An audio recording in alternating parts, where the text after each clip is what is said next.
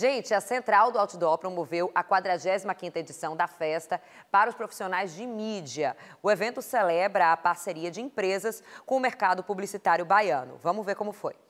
O dia do profissional de mídia é 21 de junho, mas o sanfoneiro puxou o fole mais cedo.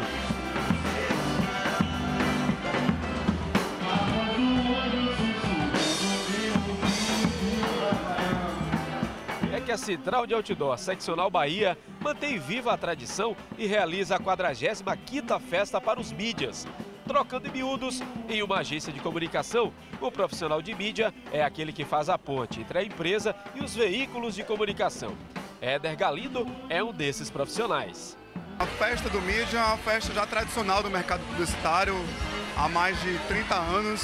Né? Então é um evento que envolve todas as entidades, agências, clientes, veículos, principalmente que são os, os, os players que viabilizam esse encontro, né? entidades, empresários. Então é uma forma de encontrar todo o mercado, dos estudantes aos profissionais que já estão no mercado há um tempo. A Central de Outdoor Seccional Bahia é quem toca a festa há 45 anos e é responsável por reunir membros de agências do Nordeste. É uma data emblemática para a gente. São 45 anos ininterruptos, nem na pandemia a gente parou.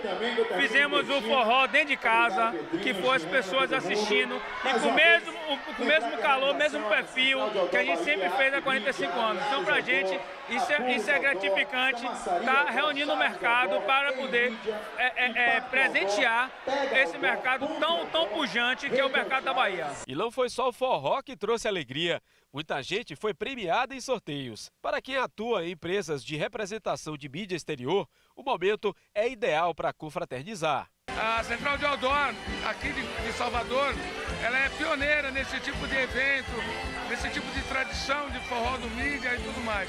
Eu tenho um prazer imenso de estar presente, de ser convidado para estar presente aqui sempre então eu acho muito bacana. Parabéns à Central de Odoro, a todas as empresas de Odoro que fazem parte da Central.